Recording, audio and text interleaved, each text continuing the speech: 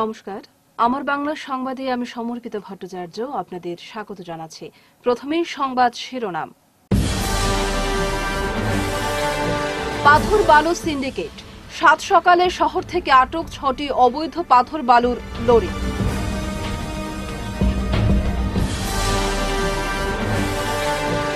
বিষ্ণুজিৎ হত্যাকাণ্ডে খুনিদের গ্রেফতার করতে বনতারাপুরে মোমবাতি মিছিল কর্মসূচি।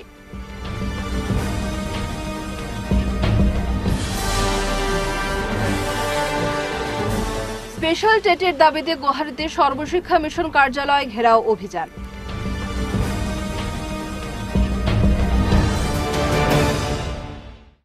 এবারে বিস্তারিত আমার বাংলা সংবাদ। কাছাড় জেলায় বালি ও পাথরের সিন্ডিকেট অব্যাহত রয়েছে। রাজ্যের মুখ্যমন্ত্রী ডক্টর হিমন্ত বিশ্ব শর্মা দুর্নীতিমুক্ত অসম গড়তে নির্দেশ প্রদানের পর গোটা রাজ্যে অবৈধ কর্মকলাপে লাগাম টানতে তৎপর রয়েছে পুলিশ প্রশাসন।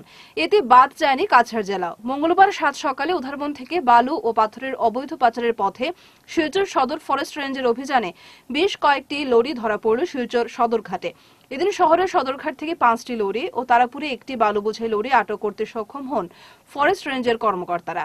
চালানবিহীন সেই লরিগুলো থেকে কমপক্ষে কুড়ি হাজার টাকার বালু ও পাথর বাজেয়াপ্ত করা হয় বলে জানা গেছে।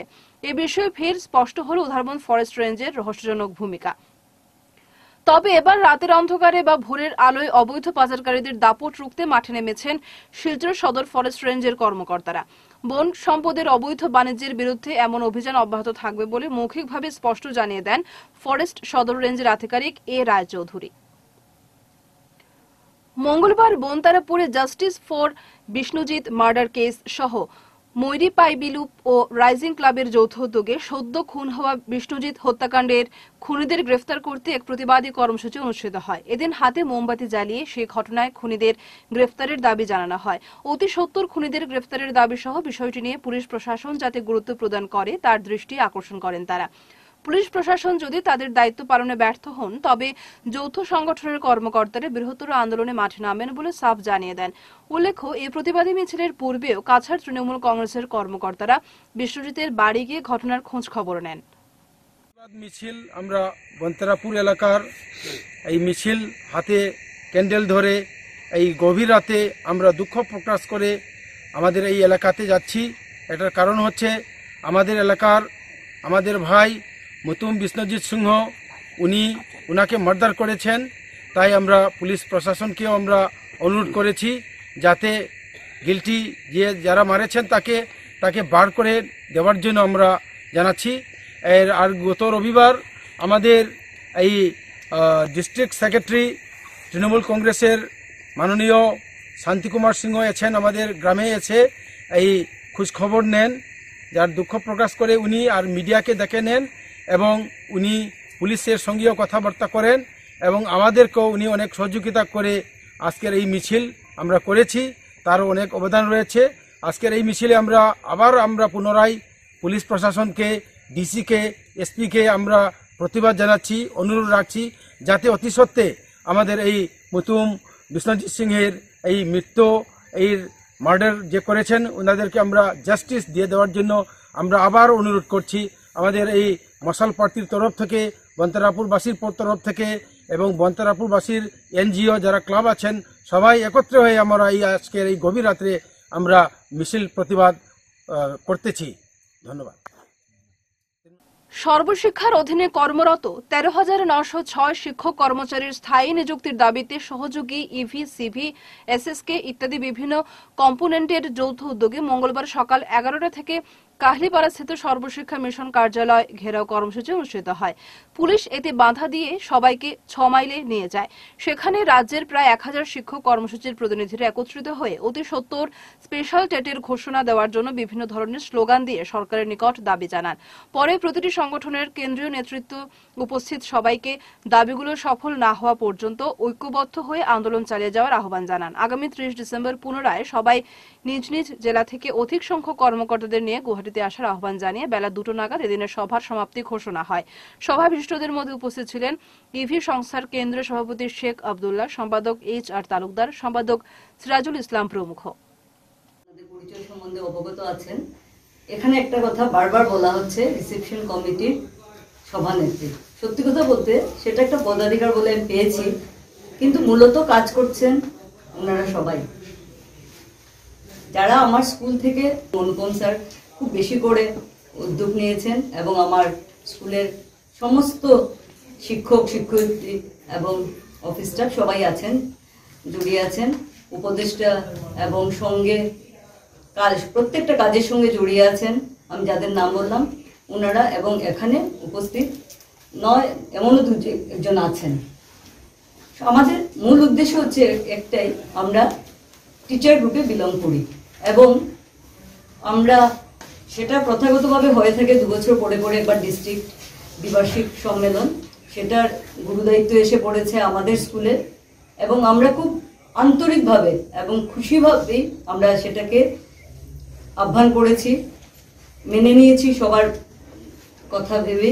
কারণ আমি মনে করি একটা ঐতিহ্যপূর্ণ অধিবেশনের সঙ্গী হতে পেরে আমরাও ভীষণভাবে আপ্লুত এবং খুশি।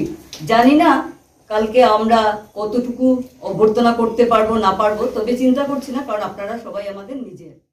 মুখ্যমন্ত্রী ডক্টর হিমন্ত বিশ্ব শর্মার দ্বি চক্রযান আরোহীদের হেলমেট বাধ্যতামূলক করতে জোরালো অভিযানে নামল শিলচর সদর ট্রাফিক বাহিনী। সোমবার বিকেলে শহরের তারাপুর সহ বিভিন্ন এলাকায় বাইক আরোহীদের মাঝ সড়কে দাঁড় করিয়ে জরিমানা আদায় করতে দেখা যায় ট্রাফিক পুলিশদের। উল্লেখ্য, এখন থেকে বাইকের পেছনের সিটে বসা আরোহীদেরও হেলমেট পরতে হবে বলে সদ্য রাজ্য সরকার ঘোষণা করেছে।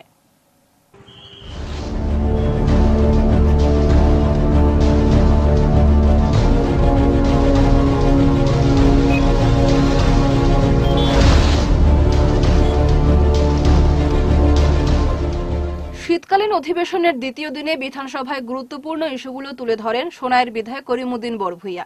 বক্তব্যের শুরুতে বিধায়ক শিলচর মেডিকেল কলেজ হাসপাতালের নাম, প্রাক্তন কেন্দ্রীয় মন্ত্রী প্রয়াত মইনুল হক চৌধুরী নামে নামাঙ্কিত করা এবং জনগণের স্বার্থে মেডিকেল বন্ধ গেটটি খুলে দেওয়ার দাবি সহ মেডিকেলের পরিকাঠামো উন্নতির জন্য স্বাস্থ্য বিভাগকে পদক্ষেপ নেওয়ার আর্জি জানান। তৎসঙ্গে সোনাই এবং ধলাই দুটি বিধানসভা কেন্দ্রের জনগণের কারণে শিলচরে প্রধান যানজট সৃষ্টি হয়। তাই অবিলম্বে এই যানজট নিরসনে দুটি ফ্লাইওভারের প্রয়োজন। একটি রাঙেরখালি পয়েন্টে আরেকটি সোনাবাড়ি ঘাটে করার দাবি জানান।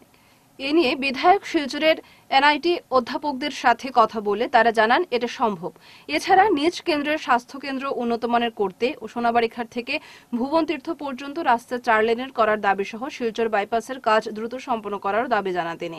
পাশাপাশি বিগত দিনে সোনাইয়ে গ্রাম উন্নয়নের কাজে অনিয়মের সঠিক দাবি তুলেন তিনি। মই নিজকে ভাগ্যবান বুলি ভাবোঁ যে মই সোণাইৰ নিচিনা এটা সমষ্টির প্রতিনিধিত্ব করার সুযোগ লাভ কৰিছোঁ। কারণ এইখন সমষ্টিতে অকল মেডিকেল কলেজ নহয় এন আই টিখনো আছে এখন চেণ্ট্ৰেল ইউনিভাৰ্চিটিও আছে। আৰু এই যিটো ইনফ্ৰাষ্ট্ৰাকচাৰ তাৰ অৰিজিনেল ফাউণ্ডাৰ আমাৰ এই সমষ্টিৰ এটা টাইমত প্ৰতিনিধিত্ব কৰা মৰহুম মইনুলক চৌধুৰী চাহাব তেওঁৰ আমলতে এন আই টি শিলচৰখন তেতিয়া ৰিজনেল ইঞ্জিনিয়াৰিং কলেজ আছিলে আৰু মেডিকেল কলেজখন এই দুখন তেওঁৰ স্থাপন কৰা। আৰু তেওঁৰ কাৰণে কানেক্টিভিটি হৈছিল সুবিধা হৈছিল ডেভেলপ হৈছিল কাৰণে তাতে পিছত চেণ্ট্ৰেল ইউনিভাৰ্চিটিখনো স্থাপন কৰাৰ এটা সুবিধা পাইছিলোঁ। তো এইকাৰণে মই আমাৰ মেডিকেল কলেজখনৰ ইনফ্ৰাষ্ট্ৰাকচাৰ ডেভেলপমেণ্টৰ লগতে শিলচৰ মেডিকেল কলেজখনৰ নাম মই প্ৰয়াত নেতা মইনুলক চৌধুৰী চাহাবৰ নামত নামাঙ্কিত কৰাৰ কাৰণে মই স্বাস্থ্যমন্ত্ৰী আৰু মুখ্যমন্ত্ৰী ডাঙৰীয়া অনুৰোধ জনাই আছো। আৰু সৰু এটা ইছ্যু আছে। আমাৰ মেডিকেল কলেজখনৰ দুইখন গেট আছিলে। এটা ফ্ৰণ্ট চাইডত এটা বেক চাইডত দুটা ৱে আছিলে। কি কাৰণে নাজানো যোৱা ডেৰ বছৰমান আগতে এখন গেট বন্ধ কৰি দিয়া হৈছে? যাৰ কাৰণে আমাৰ মোৰ কনষ্টিটুৱেঞ্চি আৰু আমাৰ পৰিমল শুক্লবৈদ্য ডাঙৰীয়াৰ কনষ্টিটুৱেঞ্চি ধলাই এণ্ড সোণাইৰ, মানুহখিনি গোটেই মানুহ এতিয়া টাউনৰ ফালে ঘূৰি আহিব লাগে। বিগত উনিশে ডিসেম্বর শিলচর সংগীত বিদ্যালয় প্রেক্ষাগৃহে অনুষ্ঠিত হয় সম্মিলিত লোকমঞ্চের একত্রিশতম লোককণ্ঠ অনুষ্ঠান। এবছরের লোককণ্ঠের বিষয় ছিল পৌষ পার্বণ। পৌষ মাসের আমেজ নিয়ে ভরা প্রেক্ষাগৃহে সংস্থার সদস্যদের দ্বারা পরিবেশিত সংস্থার সঙ্গীতের মাধ্যমে অনুষ্ঠানের শুভারম্ভ হয়। সংস্থার সাধারণ সম্পাদক ভাস্কর দাসের স্বাগত বক্তব্যের পর লোককণ্ঠের বিষয়সূচি নিয়ে আলোকপাত করেন সভাপতি ডক্টর অনুপ রায়। তিনি তার বক্তব্যে উপত্যকার ঐতিহ্যবাহী লোকসংস্কৃতিকে বহমান রাখতে সংস্থার বিভিন্ন প্রকল্পের কথা তুলে ধরেন। অনুষ্ঠানে সোনাই অঞ্চলের রবিজুল ইসলাম বেহালা বাজিয়ে তিনখানা লোকসঙ্গীত গেয়ে দর্শক শ্রোতাদের মুগ্ধ করে তোলেন। এছাড়াও একক সংগীত পরিবেশন করেন সংস্থার শিল্পী মনোনীতা গোস্বামী ও সীমা পুরকায়স্থ। সমবেত সংগীত পরিবেশন করেন আমন্ত্রিত দল বরাক পাখির সদস্যরা। এদিকে পৌষ পার্বণ ও লোকসংস্কৃতি নিয়ে বক্তব্য রাখেন শিলচর গুরুচরণ কলেজের প্রাক্তন বাংলা বিভাগের অধ্যাপক তথা লোক সংস্কৃতি গবেষক ডক্টর অমরেন্দু ভট্টাচার্য। তিনি ঋতু পরিবর্তনের সাথে লোক সংস্কৃতির বদল ও লোকগানের মাধ্যমে তার প্রকাশ নিয়ে বিস্তারিত আলোচনা করেন। পাশাপাশি অনুষ্ঠানে লোক সংস্কৃতির ওপর বক্তব্য রাখেন সংস্থার সদস্য তথা লোক গবেষক মহবুল বারি। অনুষ্ঠানের শেষ পর্বে দুধপাতিলের সর্বশ্রী নাথ ও সহশিল্পীরা পরম্পরাগত ধামাল নৃত্যে দর্শকদের মাতিয়ে তোলেন। এদিনের অনুষ্ঠানটি দর্শক শ্রোতাদের প্রশংসা করে সমাপ্তি পর্বে সমাজ কল্যাণ সম্পাদক কানাইলাল দাস ও সুমনা দাসের ব্যবস্থাপনায় উপস্থিত সকল অতিথিদের পিঠে পুলি দিয়ে আপ্যায়ন করা হয়। সোনাই উন্নয়ন খণ্ডের অন্তর্গত সুন্দরী জিপিতে দু হাজার বাইশ তেইশ অর্থ বছরের গ্রাম পঞ্চায়েত উন্নয়ন পরিকল্পনা সবকা সাথ, সবকা বিকাশ কর্মসূচির অধীনে প্রকল্প গ্রহণ ও অনুমোদন নিয়ে মঙ্গলবার জিপি কার্যালয়ে এক বিশেষ গ্রামসভা অনুষ্ঠিত হয়েছে। জিপির সভানেত্রী এন মমতা সিংহের পৌরোহিত্যে অনুষ্ঠিত গ্রামসভার শুরুতে উদ্দেশ্য ব্যাখ্যা করেন জিপি সচিব কৃপাশঙ্কর দত্ত।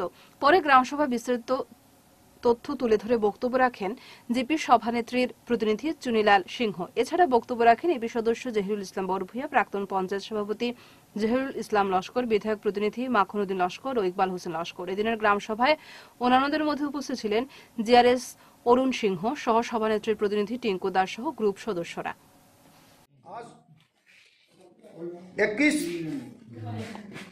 दिसंबर 2021 मंगलवार का दिन हमने ये गाँव सभा रखा है और इसमें आज मेरे को जीपी प्रेसिडेंट का रिप्रेजेंटेटिव होने के नाते मैं बहुत खुशी हूँ। On behalf of GP president मैं बोलना चाहूँगा, आज की गाँव सभा में जो सभी ने अपना अपना पॉइंट दिया है अपना अपना डेवलपमेंट के बारे में बोला है और ये जितना हमने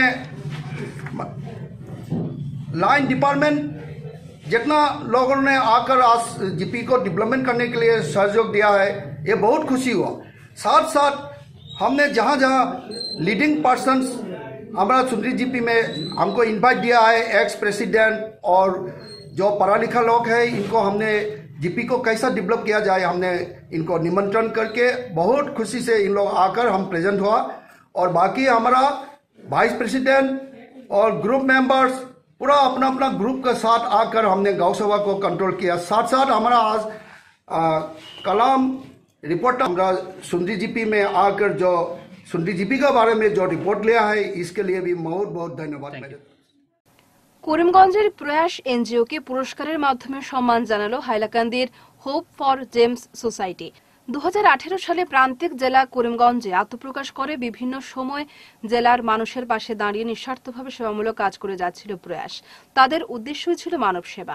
কিন্তু হঠাৎ দু হাজার উনিশ সালে শুরু হয়ে দু হাজার কুড়ি সালে গোটা বিশ্বের সঙ্গে করিমগঞ্জ জেলায়ও থাবা বসায় করোনা ভাইরাস তখন সরকারের নির্দেশে তালাবন্দি হয়ে যায় সারা দেশ। স্তব্ধ হয়ে পড়ে পুরো জেলাও। এমন সময় কর্মহীন অবস্থায় দিশেহারা হয়ে পড়েন নিম্নবিত্ত পরিবারের সদস্যরা। মৃত্যুর ভয় না করে সেই সময় থেকে শুরু করে আজ পর্যন্ত মানুষের সেবা চালিয়ে যাওয়ার সুবাদে আজ তাদের এই প্রাপ্তি। এমনটাই সংস্থার সভাপতি সন্দীপ নন্দীর বক্তব্য। সংবাদ মাধ্যমের কাছে তিনি জানিয়েছেন, প্রথম এবং দ্বিতীয় লকডাউন সহ বিভিন্ন সময়ে মানুষের পাশে দাঁড়িয়ে নিঃস্বার্থভাবে সেবামূলক কাজের ফলস্বরূপ রবিবার হাইলাকান্দি রোটারি ক্লাবে হোপ ফর জ্যাম্পস সোসাইটি আয়োজিত সংবর্ধনা অনুষ্ঠানে প্রয়াসে সদস্যদের সংবর্ধনা প্রদান করা হয়। নমস্কার। কালকে হাইলাকান্দি রোটারি ক্লাবে হকপোর জ্যাম সোসাইটির পক্ষ থেকে বরাকের বিভিন্ন এনজিওকে, যেমন শিলচর পরিমাণে হাইলাকান্দির কিছু কিছু এনজিওকে সিলেক্ট করা হয়েছে যারা সেবামূলক কাজ করেছেন। তো আমরা আমাদের করিমগঞ্জের প্রয়াস এনজিওকে ওরা কাল সংবর্ধনা করল। আমি বিশেষ করে ধন্যবাদ জানাই হকপোর জ্যাম সোসাইটির প্রত্যেক সদস্যদের এবং বিশেষ করে আমার প্রয়াস এনজিওর প্রত্যেক সদস্যদের। কালকে আমরা মাত্র পাঁচজন গিয়েছিলাম, কিন্তু আমাদের অনেক সদস্যরা অক্লান্ত পরিশ্রম করেছে, তাই আমরা এই আজকে এই সংবর্ধনা পেয়েছি। তো বিশেষ করে আমাদের সকল সদস্যদের কষ্টের ফলে আমাদের এই অর্জন এবং আমরা আগামীতে যাতে মানুষের কাজ করে যেতে পারি করিমগঞ্জের মানুষের যাতে ভালোবাসা এবং আশীর্বাদ আমাদের উপরে থাকে এবং আমরা যাতে সমাজের যে কোনো কাজে আমরা এগিয়ে যেতে পারি। বিশেষ করে কোভিডের সময় আমাদের প্রত্যেক সদস্যরা যেভাবে সার্ভিস দিয়েছেন, তা কালকে সবাই প্রশংসা করেছে। আমি আবারও আমার সকল সদস্য ধন্যবাদ জানাই এবং করিমগঞ্জবাসীর আশীর্বাদ এবং সহযোগিতা কামনা করি। আগামী দিনগুলোতে করিমগঞ্জবাসীর যে কোনো ধরনের সাহায্য সহযোগিতার প্রয়োজন হলে আমাদের সঙ্গে যোগাযোগ করবেন। আমাদের সাধ্য মতো আমরা যতটুকু পারি আমরা চেষ্টা করব আপনাদের সহযোগিতায়। আর আমরা করে আসছি এবং আপনাদের আশীর্বাদ থাকলে ভালোবাসা থাকলে আমরা আগামীতে করে যাব। পণ্যবাহী লরি চলাচলের দাবিতে অবশেষে মঙ্গলবার অসম ত্রিপুরা বিকল্প জাতীয় সড়কের ঝেরঝের এলাকায় সড়ক অবরোধ করেন লরি চালকরা।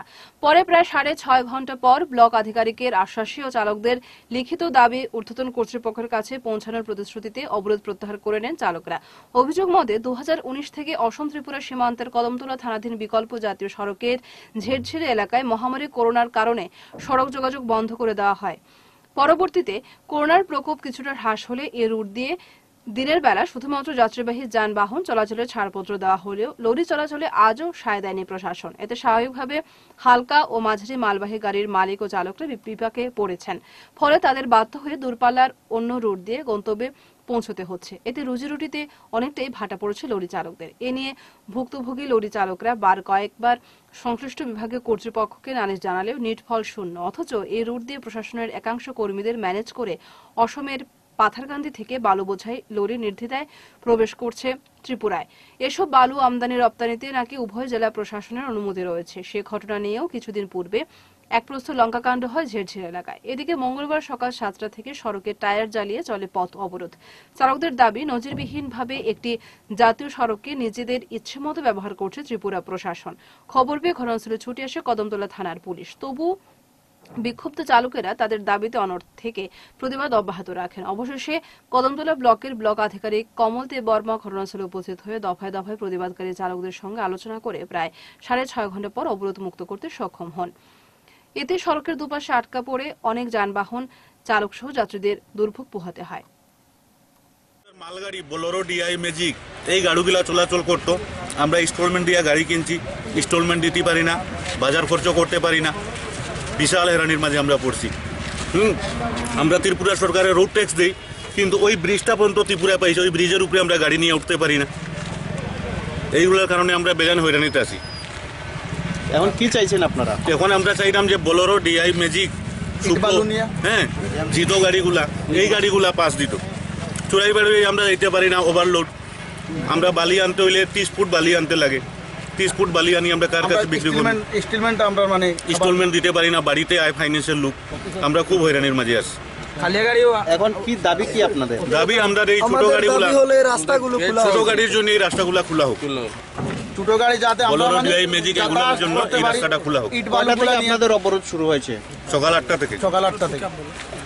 কোনো আধিকারিক এখনও আসেনি? এখনও কোনো আধিকারিকগুলো আসেনি। সবাইকে আমরা বর্ডার গার্ড বাংলাদেশ অর্থাৎ বিজিবির প্রতিষ্ঠা দিবস উপলক্ষে ভারত বাংলাদেশের উভয় সীমান্তে নিয়োজিত সীমান্ত সুরক্ষা বাহিনীর একে অপরকে শুভেচ্ছা বিনিময় ও মিষ্টি বিতরণ করেন।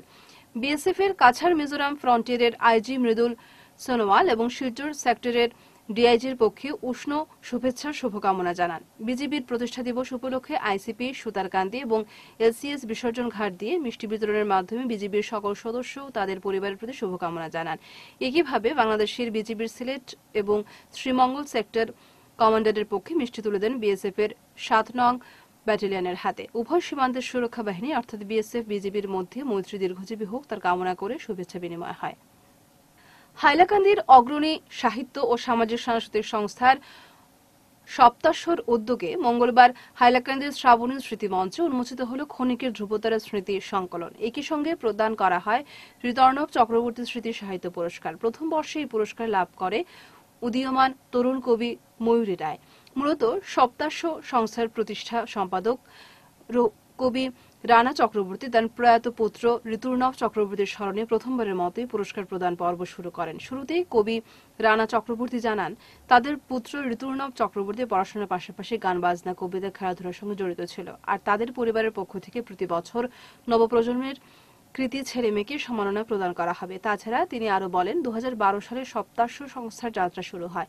এরপর থেকে শুরুর দিকে প্রবীণ কবিদের জন্মদিন পালন এবং সাধন ম্যাগাজিন প্রকাশিত হয়ে আসছে।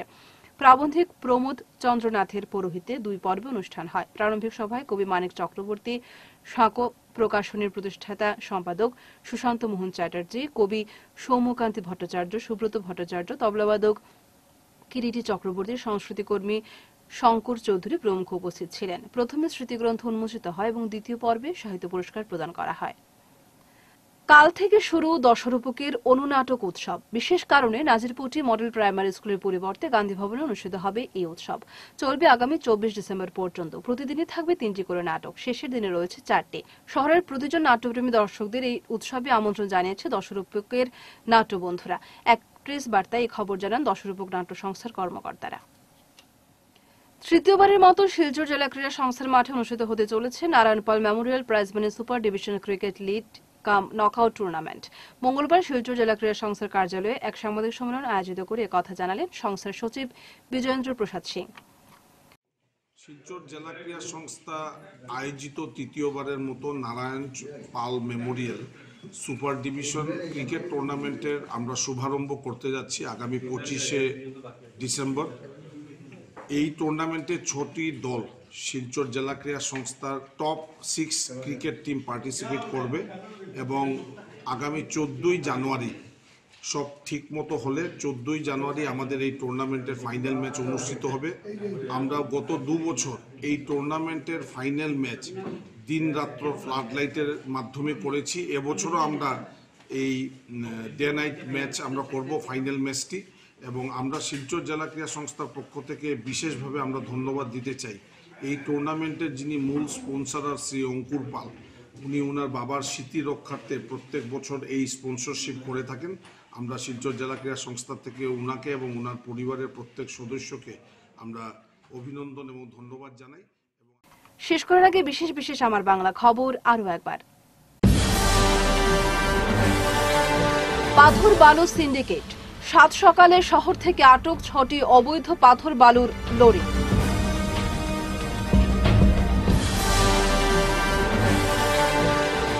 বিষ্ণুজিৎ হত্যাকাণ্ডে খুনিদের গ্রেফতার করতে বনতারাপুরে মোমবাতি, মিছিল, কর্মসূচি।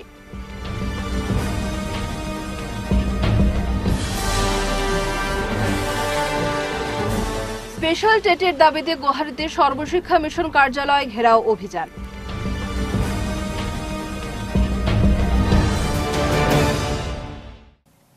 এখনকার মতো আমার বাংলা সংবাদ এ পর্যন্তই। নমস্কার।